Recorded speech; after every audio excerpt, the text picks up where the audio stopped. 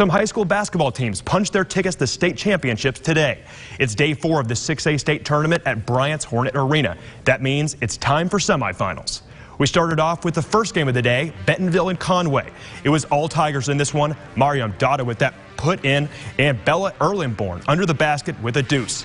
And Dowda again with an and one this time, passing it down low under the bucket and Butter just strong there. She's a good recruit, too. Bentonville goes on to win this one 81 59. Tigers are headed for Hot Springs, where they'll play Fayetteville next week for a title.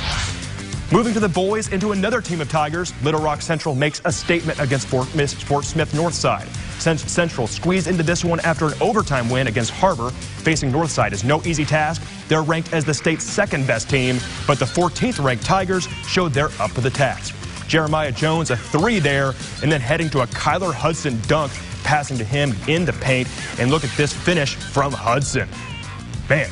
And then a small edge late, but Cody Robinson is going to hit a three to get that deficit even stronger. Look, these guys are loving it. And there's Robinson with a three, and that's going to do it. No last minute heroics by Northside. Central wins 40 to 37. A team not many would expect to go the distance does just that. Coach tells us what made the difference. The X factor is is those kids believe. They believe they're as good as anyone. They believe they're going to win. And um, when you play hard, you play unselfish, and uh, you don't think you're an underdog to anybody. Doesn't matter who they've got or where those guys are signed. Uh, my kids walk in the gym, and, and they think that we're coming in there to win. So, uh, you know, we're not going back down from anybody, and, and it didn't look so good the other night, but, but they just didn't give up. They kept coming back, and, and we're still standing.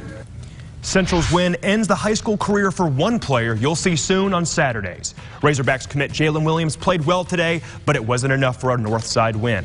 The 6'10 four-star center is the state's highest rated recruit according to 24-7 Sports. He's slated to don Razorback red starting next season.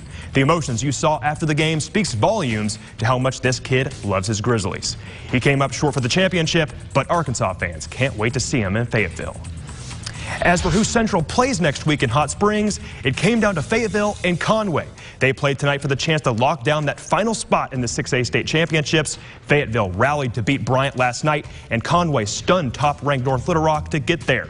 It was a, it was a teeter-totter affair, but Conway wins 55-48, setting a collision course with Central for a title next week. That does it for sports. More news and weather coming your way after the break. The most